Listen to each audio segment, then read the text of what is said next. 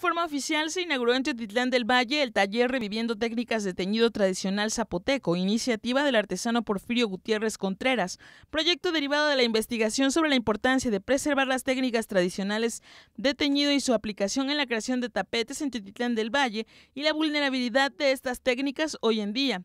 Con el respaldo del Instituto Smithsoniano, con sede en Washington, D.C., el artista Porfirio Gutiérrez Contreras puso en marcha el proyecto en su comunidad, contribuyendo a así con la riqueza con la que cuenta Teotitlán del Valle. Me da muchísimo gusto que, existan eh, oaxaqueños como ustedes, que tienen una visión, además de protección cultural, una visión económica de la cultura que es muy importante. ¿Cuántos trabajos se generan acá? ¿Cuántos trabajos no solamente en esta casa, sino en Teotitlán del Valle? Y creo que eso es muy importante no perderle de vista. El arte popular en Oaxaca es una potencia que pudiera ser un, motor económico y tenemos un ejemplo de liderazgo no solamente artístico sino social en el maestro Porfirio.